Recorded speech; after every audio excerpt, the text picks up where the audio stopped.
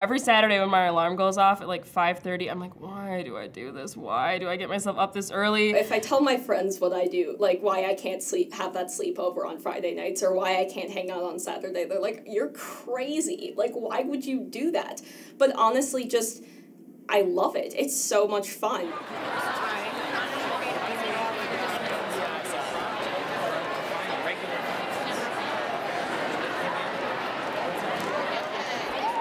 Think people a lot of times have a odd conception of what speech team is. Um, it is uh, essentially breaking, um, I guess you could say, language down into about 13, 15 different categories, whether it be uh, interpretive with things like humorous interpretation or dramatic. Hey, James Hook, what are you doing? Nothing, Peter. Ooh, that's a nice watch. Drop, step, crunch. Hey, You know, like, what do I say? What do I even say to the guy who has my husband's heart? Like, are you a smoker? No? Good.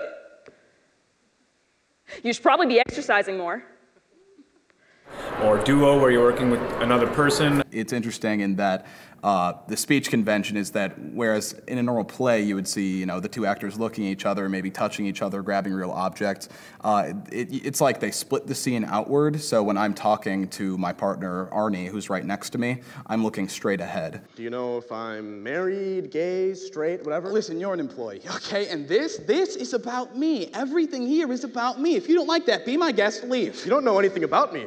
You know I'm a painter, don't you? Yeah, I suppose. Have you ever once asked to look at my work? No, why would I? You spend your life in search of real human beings. I don't think you'd recognize a real human being if you were standing right in front Oh, of you. Oh yeah? What is a real human being, huh? Me. My parents died when I was seven. I spent my whole life in foster homes, shuffling around a lot. That's a real human being.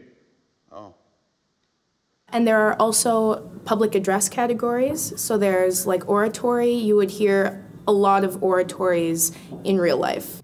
It's like a persuasive speech. Basically, we are a generation that doesn't actively solve its problems. It seems that more and more we are putting down the protest signs and instead just passively picking up our iPods. A category called creative, which is basically writing your own piece, and it's basically like writing a little play. Hello, ma'am. You seem like you're a bit confused. Can I help you out? Yeah, um, how much is this here oil right here?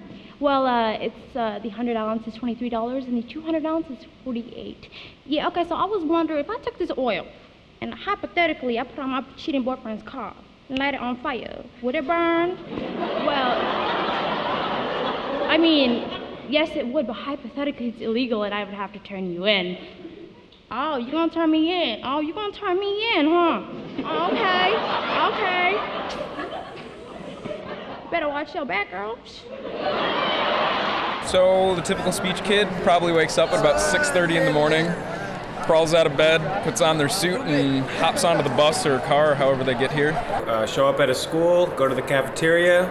They get their room assignments and codes, and hopefully go rehearse if they're good, and actually listening to their coaches. And then you go to your first round, which will consist of about six or seven competitors and a judge, whether it be a parent volunteer or a coach from another school. And you just take turns giving your speeches to the judge. The judges give you a rank anywhere from one to five. One is the best, five is the worst. They do that three times. And then there is, you know, postings, which is where big things come down from the walls or whatever that list who did well enough to break to either honor finals, which is uh, basically the bottom seven of the top 14, and then finals, which is the top seven. So that round happens. People who didn't break go and watch rounds, and then there are awards where you find out how people did. And in first place with 227 points, the team of Eagan.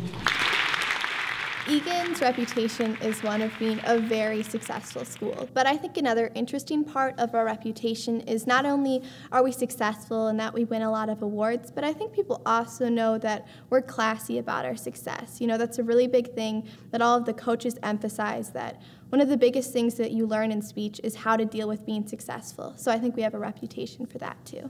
We are well known around the state as like, oh, dang it, Eagan, they're so good. They don't like rank you nationally anymore. They just, you know, give awards for the top teams, but based on the points we won last year and we won the year before, they just don't make that official.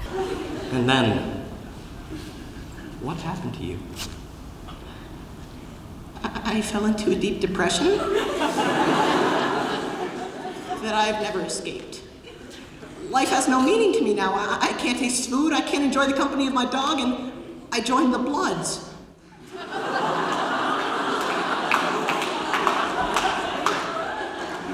Basically, my entire life has become completely meaningless. That is terrible. I know. I believe I will die alone. I'm sure you will. In this type of environment with speech, you can start at the bottom and then just completely rise to the top. A lot of activities and a lot of uh, sports and other co-curriculars. It's really for that set personality type. Like robotics is for like the sciency people. And uh, lacrosse is for the athletic people while speech is for all types of people. Like if you're not very good at expressively speaking you can be in a category like discussion. And if you're if you don't really know a lot about politics but are really funny you can be in humor. Or if you're not funny you can be in poetry. You know it's just really got something for everybody. You are doing something that I think for more people will benefit you in the future, if that um, makes sense. Uh, sports, a lot of times, you're not going to get many athletes coming out of high school that are going to go on to be professional athletes. That's just kind of the breakdown of it. Some do, but a very small percentage do. Whereas speech is something that I think that no matter who participates, uh, you're going to benefit from it because you're getting up in front of people and speaking and having to be confident in yourself. I mean, it really takes something special to get up in front of a bunch of people that you don't know and talk for 10 minutes. I think people say their number one fear in life is public speaking. So being able to do that at the age of 14, 15, that's incredible in its own right. I mean, it's, it's weird to me when people they don't like reading in front of the class because to me that's like no big deal. You know, reading in front of the class. I performed in front of 3,000 people last year. Like whatever. My name is Merlin, and I happen to be a wizard. How do you do? How do. Ah, for the love of. Oh! Oh my god. Now breakfast. Do you like peaches? Oh, yes, very much indeed. Good. They're scarcely in season. Mushrooms on toast, melons and cream, grilled perch, deviled chicken, piping hot, brown trout. Uh. Boiling coffee. Ouch! Here, have some mustard with that. The reason that I do speech, which has you know a lot of qualities that are somewhat abnormal and for, for an outsider wouldn't seem to be incredibly appealing, is that really you you you just love it, you just enjoy it. You have to kind of like performing. uh, Let's be honest. I mean, we all like attention. And speech is just another way for me to like be successful through goofing off and like talking, which is something I just love to do. I'm a kid who just like likes attention and I like to be noticed and I like to speak and I like to communicate. And speech just lets me do that. It taught me that you know my opinion matters and knowing how to express myself in an effective way is important and that's the sort of skill that will help you for the rest of your life speech gives you confidence which is what everybody needs to succeed You see, Luis, I'm a very solitary person, shunned all my life. But when I saw you in the park, it was like I had a new companion. My desire. And suddenly I wasn't so alone. I have returned with my things. Luis, what is he doing here? You two know each other? Ah, Luis. I figured this would be a good time to tell you, um, I am a hairdresser, and I colored that man's hair twice. lies! Filthy, filthy lies. And I will tell you one other thing, Luis. That man is only here because he wants to explore your body. This is true. How about you? Speech has probably helped me to grow as a person more than any other activity or anything I've really done throughout school, including school itself. I've become confident with know, just the very simple act of speaking. Uh, being a freshman, I was not a very articulate person, and I still struggle with that, but I have the confidence now to at least, you know, go forward with it and try to, you know, solve that problem. The Congressional Research Service found that the average age of a senator in Congress is the highest it's been in U.S. history, 63 years old, with eight below the age of 50 and only one below the age of 40.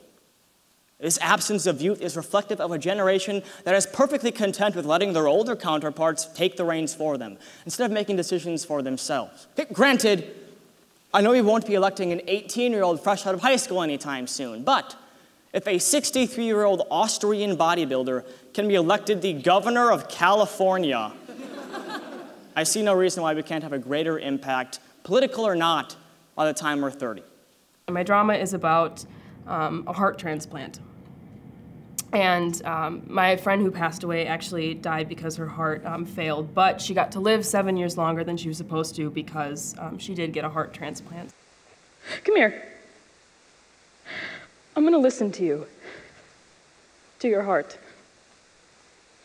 Okay.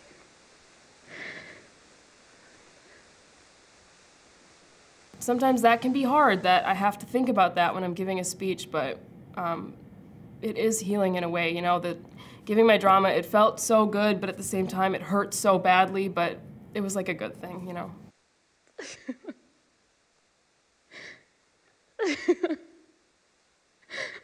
oh my god.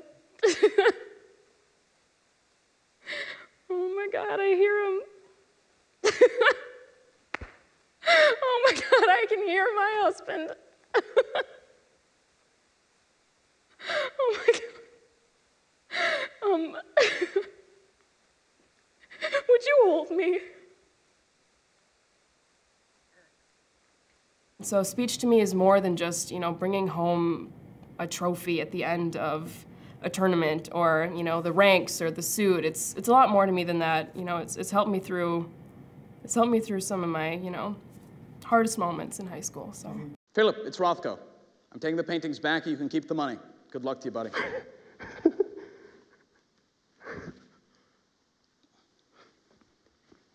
Now, now you are Mark Rothko. You're fired. But I thought you said You're that. fired? I mean, I don't know about some people, but at least for me and a lot of people I know, speech is really what's kept me in high school or kept me from just getting, I don't know, disillusioned with all the, the, the same kind of schedule of school and, and feeling like it's meaningless and all of that. You know, a lot of people feel like that when they're in their teenage years. I think speech, you get to do something that you really care about because you get to, you know, pick pick a, a speech or you, you can you can even write a speech that you feel truly passionate about. Two years I've been here, and you expect me to walk out just like that. Listen, you're too needy, all right? You're too damn needy, and I don't need it. I don't need your need. If since you're seven, you're looking for a home, well, pal, honestly, I'm sorry, but this isn't it. Come on, Dr. Freud, you can do better. Why? Because I don't need an assistant anymore. No. Because you talk way too much. So do you. Because you have a lousy taste in art. No. Because I'm sick of you. No. Because your life is out there.